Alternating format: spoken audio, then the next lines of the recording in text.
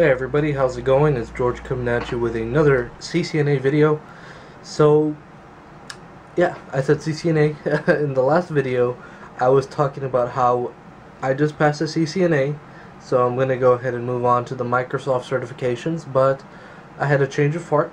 I tried out some of the Microsoft nuggets on CBT nuggets, and they're entertaining, they're fun to watch, but I just don't like it as much as I like Cisco.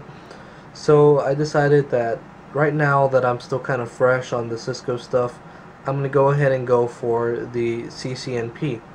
So right now I'm about halfway through the CCNP route videos with Jeremy as well as with Chris Bryant.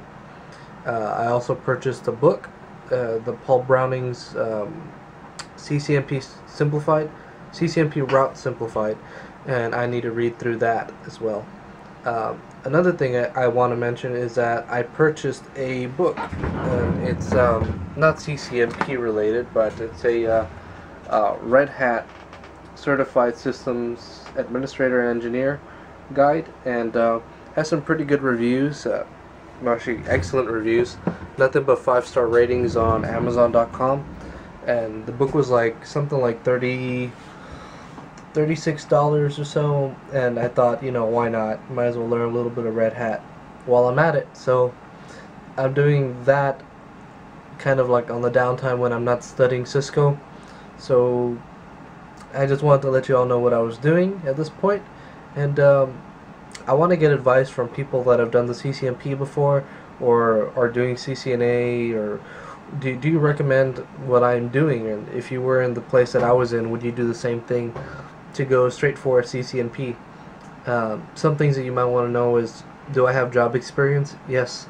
I have three years of kind of like technician experience as a systems administrator, systems technician, networking, networking technician, things like that. I've done that for about three years now, uh, implementing EMR, uh, which is electronic medical record systems.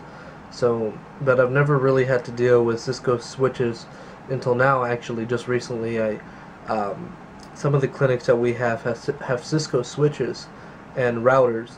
So now I'm actually able to comfortably work with them. So I don't know. Is that enough experience to go into the CCNP and then uh, expect to get a job? You know, maybe not right afterwards, but relatively soon. So I got six months before my student loans start kicking in. So uh, I, I, don't know. Maybe I, I need to move into some kind of uh, full time job or, or or figure something out pretty soon. So just just wondering what you guys think about that and uh, anything that you would like to say just leave it in the comments below and uh, rate if you like the video i'll see you all next time bye bye